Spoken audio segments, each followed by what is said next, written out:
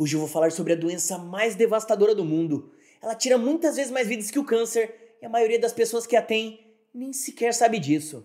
Eu vou falar sobre como ela causa danos, por que ela é tão mal compreendida e, é claro, o que você pode fazer para se proteger.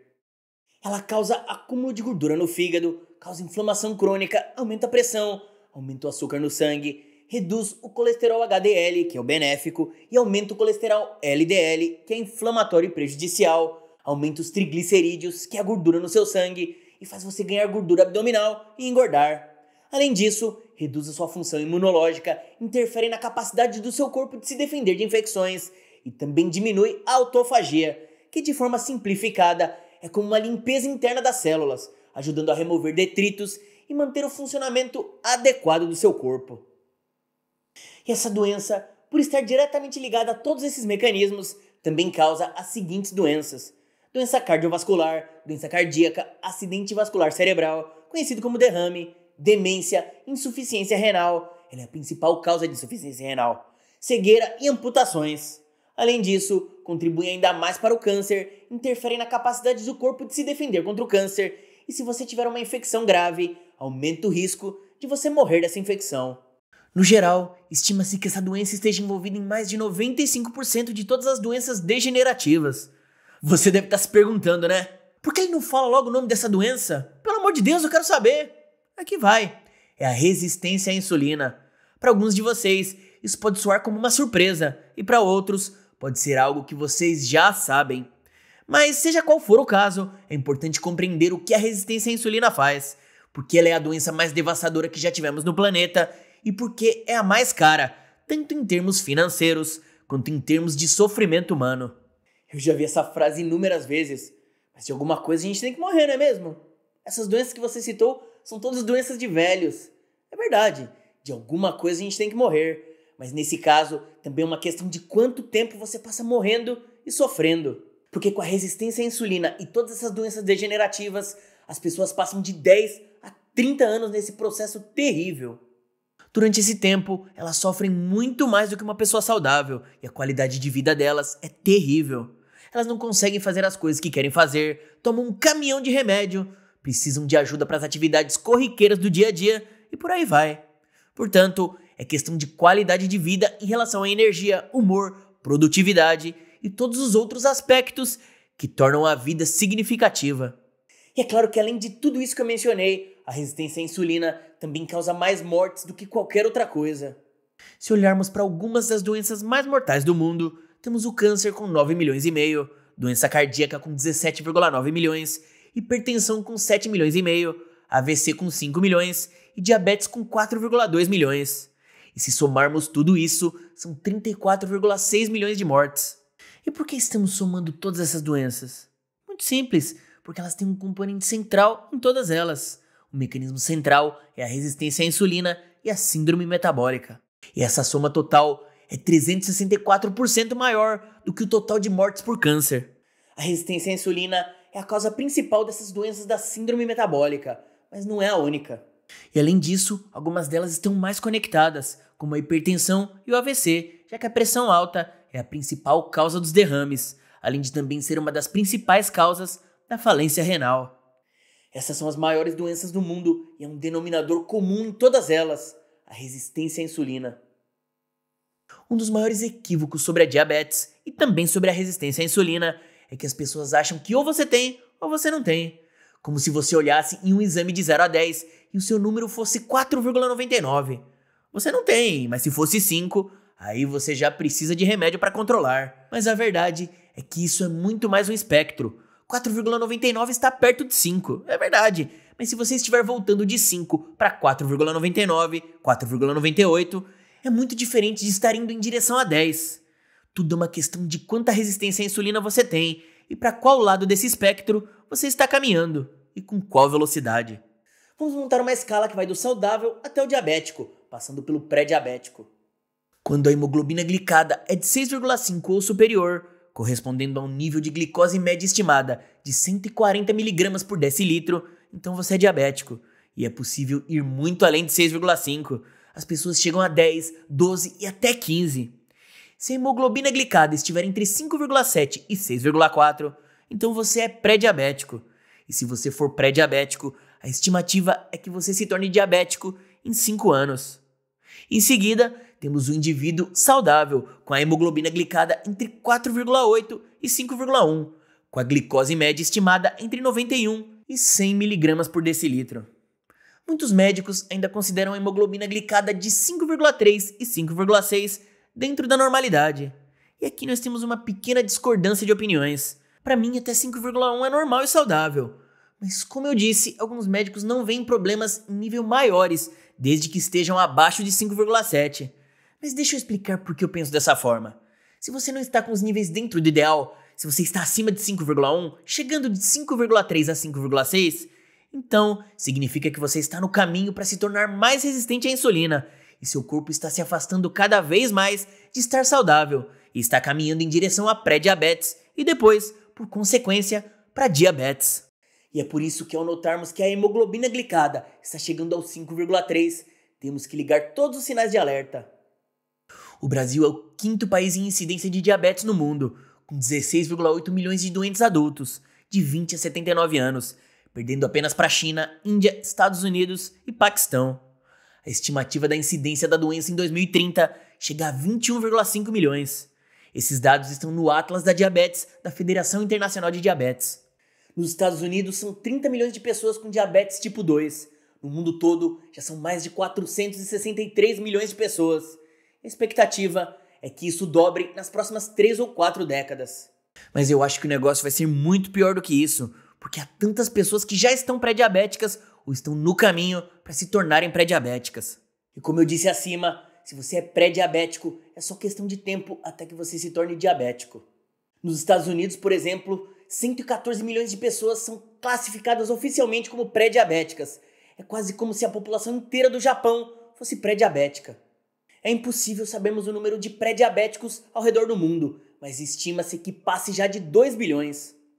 E se adicionarmos a essa lista as pessoas que estão caminhando em direção à pré-diabetes, são 300 milhões só nos Estados Unidos e pelo menos 2,2 bilhões de pessoas ao redor do mundo. A resistência à insulina é a principal causa de ganho de peso, e não é de se espantar que quase 60% da população brasileira esteja com excesso de peso. O percentual representa a soma das pessoas com sobrepeso e obesidade. A taxa chega a 68,5% na faixa de idade entre 45 e 54 anos e 40,3% entre os mais jovens de 18 a 24 anos. Mais de 70% da população dos Estados Unidos está com sobrepeso, assim como mais de um terço da população do planeta também sofre desse problema. Esse gráfico mostra como a obesidade progrediu nos Estados Unidos desde 1800, onde praticamente não existia. Em 1900 ela começou a aparecer, mas a partir de 1960 ela teve um crescimento assustador. E aqui estamos falando do percentual da população que está obesa e não apenas acima do peso. A parte vermelha do gráfico é a diabetes e os números não são tão altos, mas há um crescimento exponencial aqui, ó, de 90 a 2018. E o motivo é que leva algumas décadas, provavelmente de 15 a 20 anos, para ir de uma resistência à insulina muito leve para diabetes. Os Estados Unidos são o líder mundial entre os países grandes em termos de diabetes, obesidade e sobrepeso. E esse crescimento vertiginoso aconteceu de 1990 até os dias de hoje. Vale lembrar que o Brasil está cerca de 13 anos atrás dos Estados Unidos na questão da obesidade, diabetes e provável colapso do sistema de saúde devido ao gasto que as doenças da síndrome metabólica causam ao Estado. Isso significa que, se por um milagre do destino os Estados Unidos passassem a se alimentar bem, parassem de se sabotar e começassem a fazer exercícios físicos, o Brasil chegaria onde os Estados Unidos estão hoje, em 2024, em 13 anos. Assustador, não? O resto do mundo tem seguido a mesma tendência e tem ido pelo mesmo caminho da autodestruição. Mas até agora eu só falei dos problemas e não apareci com nenhuma solução, né? Isso é fácil. Só ficar jogando problema em cima de todo mundo e não aparecer com nenhuma solução. Mas calma lá, calma lá antes de falar das soluções, a gente precisa entender o que faz a insulina e como a resistência à insulina acontece. Quando você come, a comida entra no seu sistema digestivo, onde é quebrada em partículas menores. Uma vez que essas partículas alcançam o tamanho molecular adequado, elas são absorvidas na corrente sanguínea, mas elas não podem passar do sangue para as células sem a insulina. Então, esse é o trabalho dela. Ela tem esse papel fundamental, por isso ela é essencial. a insulina não é uma coisa ruim, mas balanço é imprescindível. Eu vou falar da diferença entre o diabetes tipo 1 e o tipo 2 e explicar o que essas doenças fazem.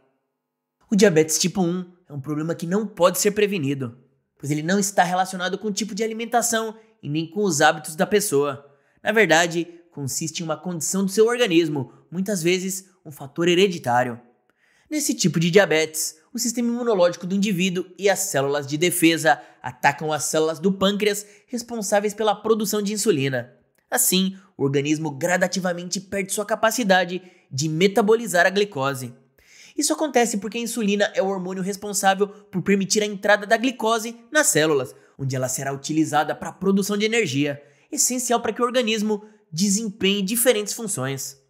Pelo fato do pâncreas perder sua capacidade de produzir insulina, o açúcar não é utilizado corretamente e se acumula na corrente sanguínea. Assim, o diabetes tipo 1 é uma condição que geralmente é diagnosticada em crianças e adolescentes, mesmo quando eles mantêm hábitos saudáveis. Adultos também podem ser diagnosticados com diabetes do tipo 1, isso porque a produção de insulina, apesar de ainda existir, pode ser insuficiente e a pessoa conviver com o problema por vários anos, até aparecerem os sintomas ou as complicações mais significativas. Já o diabetes tipo 2 é um problema que pode ser evitado, pois se caracteriza por resistência à ação da insulina. Essa condição se desenvolve com o passar do tempo em função do estilo de vida, como com uma alimentação baseada em açúcar, fast food e calorias líquidas, além da falta de atividades físicas. A diabetes tipo 2 está fortemente conectada com a obesidade e é basicamente um problema causado por conta própria. A pessoa que desenvolve o diabetes do tipo 2 perde a sensibilidade à insulina. Como as células do organismo estão pouco sensíveis à ação da insulina, o pâncreas precisa aumentar a quantidade produzida para controlar o nível de açúcar na corrente sanguínea. Esse tipo de diabetes não é frequente em crianças. Entretanto, em função da epidemia de obesidade que assola o Brasil e da dieta terrível que as pessoas estão seguindo, estamos vendo casos de diabetes tipo 2 em pacientes cada vez mais jovens. O aumento dos níveis de açúcar no sangue no diabetes tipo 1 e tipo 2 ocorre por fatores diferentes. No tipo 1, está relacionado com uma condição orgânica que faz com que o pâncreas reduza a quantidade ou pare de produzir a insulina. No tipo 2, o organismo apresenta resistência à ação da insulina.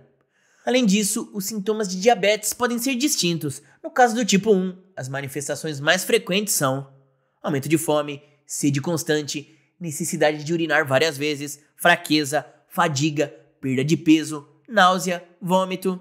Os sintomas do diabetes tipo 2 são relacionados às complicações da doença e podem incluir vulnerabilidade para infecções, problemas de cicatrização, formigamento nos pés, alteração visual, formação de furúnculos, uma das razões pelas quais a resistência à insulina é um grande problema é que ela é extremamente mal compreendida. Se você pesquisar na internet, verá que a resistência à insulina é quando as células do corpo, como músculos, gordura e fígado, param de responder bem à insulina. Mas por que isso acontece? Será que existe algum motivo para ela começar a resistir à insulina? Nosso corpo é extremamente inteligente e resistente. Cada célula do corpo está tentando retornar ao equilíbrio. Tudo no corpo funciona conforme uma inteligência interna então sempre há uma boa razão para o que o corpo faz. E se não entendermos isso e pensarmos que a célula está fazendo drama ou sendo estúpida, já que um dia ela responde e no próximo não responde à insulina, então podemos tentar forçá-la. E fazemos isso com o uso de medicação. Se a célula não quer o que a insulina está fornecendo, se a célula diz: Não, eu não quero, eu já tive bastante, e começa a resistir e nós a forçamos com medicação, a questão é: você acha que estamos melhorando a saúde dessa célula ao violar os seus desejos? Ou estamos realmente prejudicando essa célula? Eu acho que é bastante claro que quando você a força, quando tenta interferir com o que o corpo está fazendo e impor a sua vontade, você está sempre diminuindo a saúde e indo por um caminho que vai trazer sérios problemas mais à frente. Vamos analisar a resistência à insulina de uma outra maneira. Imagina que você está em casa e aparece um vendedor na sua porta. Ele toca a campainha, você o atende e vê que ele tem produtos que você tem interesse em comprar. Aí você compra, se despede dele, fica toda feliz e volta para dentro de casa. Só que cinco minutos depois, ele volta oferecendo a mesma coisa. Inicialmente você acha meio estranho, ele parece meio maluco, mas ok, vamos, vamos, vamos conversar, né? Aí ele fala, oferece de novo, você fala não e ele vai embora. Só que cinco minutos depois, ele volta você o manda embora e ele volta de novo. Ele começa a aparecer de 5 em 5 minutos, até mesmo de noite. Você perde a paciência, não perde?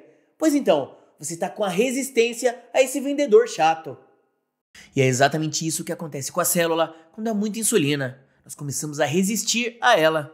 A resistência à insulina é a resistência à ação da insulina. E quando sua célula começa a resistir à ação da insulina, o que está acontecendo é uma adaptação fisiológica. A célula está tentando voltar ao equilíbrio e à homeostase. Homeostase é como o corpo mantém as coisas equilibradas por dentro para se manter saudável, como um termostato que regula a temperatura em uma sala para mantê-la confortável. Você já percebeu como todo mundo tende a culpar a gordura por tudo? Isso é porque ninguém quer excesso de gordura no corpo. Gordura em excesso é prejudicial à nossa saúde, é um fardo, atrapalha você no dia a dia, é extremamente desconfortável ficar andando por aí quando estamos muito pesados. Mas será que ela é a causa raiz? Se você tem excesso de gordura, significa que está armazenando mais do que está queimando, e isso ocorre devido a um aumento na lipogênese. Em termos extremamente simples, a lipogênese é o processo pelo qual o corpo humano produz a gordura a partir de outras substâncias, como carboidratos e proteínas. Em outras palavras, é a forma como o corpo cria reservas de gordura para armazenamento. Não é apenas o que você está comendo em termos de gordura, é o quanto de gordura seu corpo está produzindo. Isso é o que a lipogênese faz, produz gordura. E se você não tem muito metabolismo, ou como dizemos, se ele está lento, então você não está queimando gordura o suficiente. Logo, você tem uma lipólise diminuída, e ambos são resultados diretos da resistência à insulina. Porque quanto mais resistência à insulina você tem, mais insulina o corpo vai tentar produzir para controlar o açúcar no sangue. Então, a insulina sobe. Só que a insulina é apenas o resultado do açúcar no sangue. E finalmente, temos a causa principal de tudo. O açúcar no sangue é resultado do açúcar e do amido que você come. Todo mundo culpa a gordura, mas a gordura não é a causa, ela é o resultado final. A causa é o açúcar, o amido, o açúcar no sangue e a insulina. E como podemos ter tanta certeza disso? É fácil, porque sabemos o que causa respostas à insulina. Se atribuirmos um valor de 100 para a resposta à insulina que o açúcar e o amido causam, a proteína produz cerca de metade da resposta à insulina e a gordura produz virtualmente zero. E além disso, proteína e gordura nos deixam saciados, elas te mantêm satisfeito por muito tempo, mas o açúcar e amido te deixam com fome. Portanto, o principal gatilho para as respostas à insulina é o consumo de carboidratos simples e amido, que são rapidamente convertidos em glicose.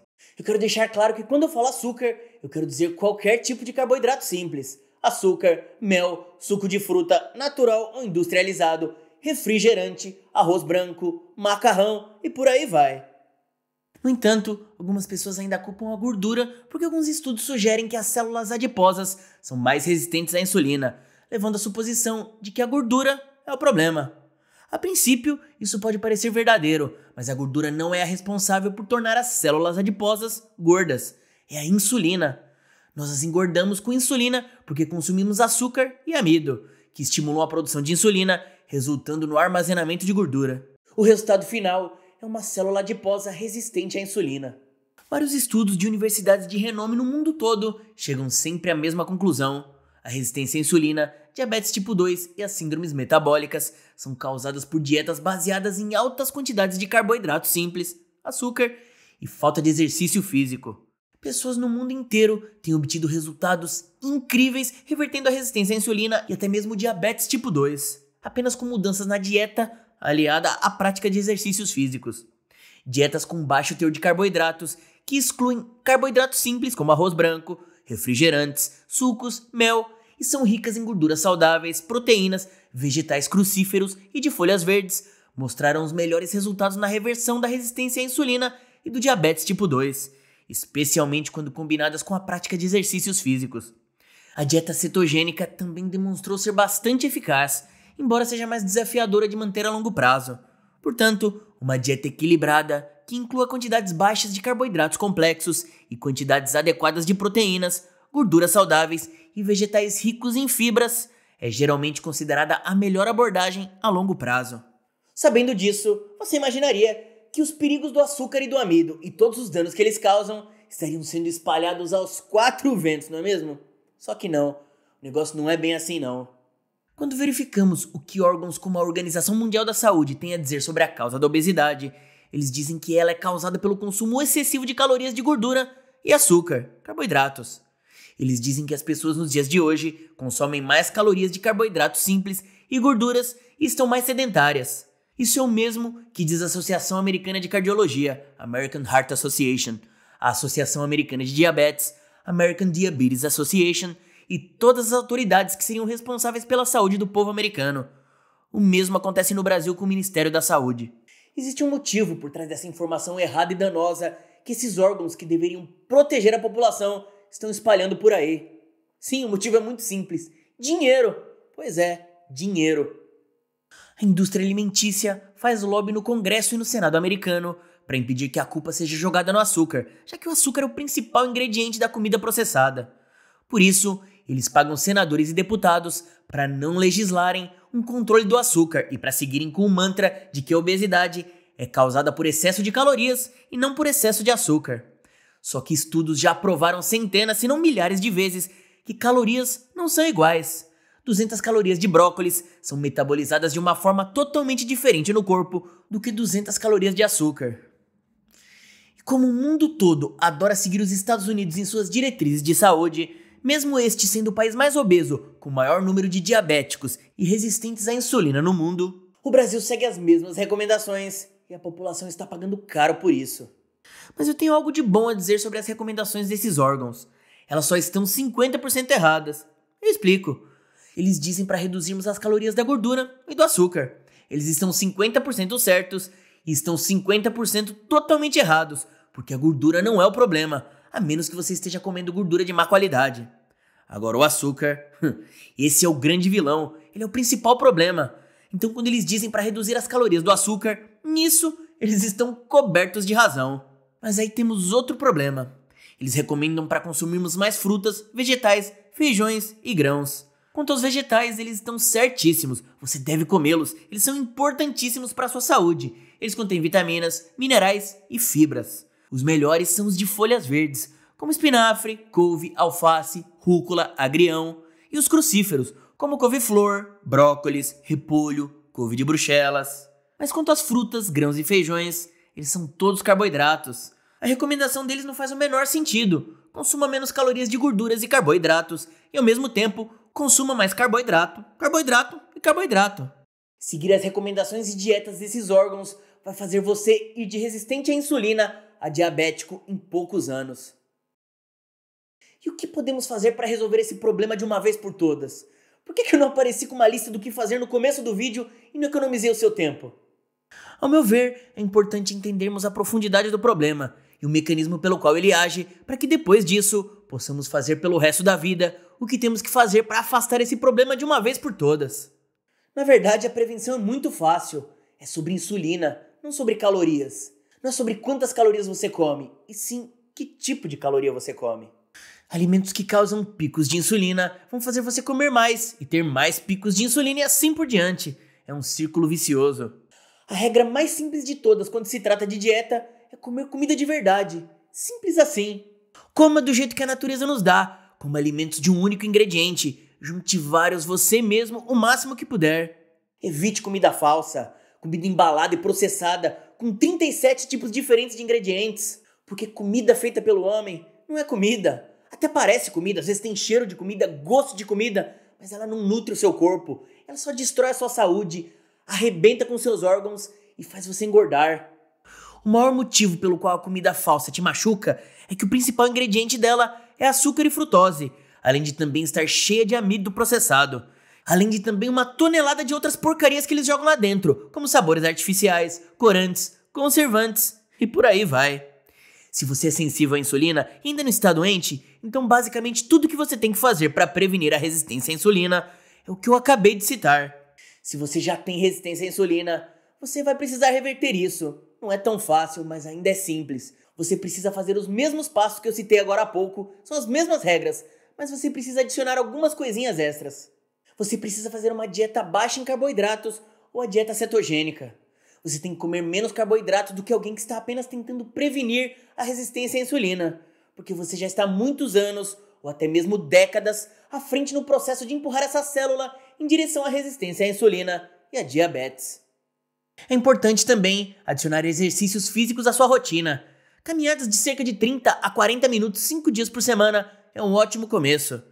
Se você puder treinar com peso em uma academia Isso vai te ajudar no processo de reversão da resistência à insulina.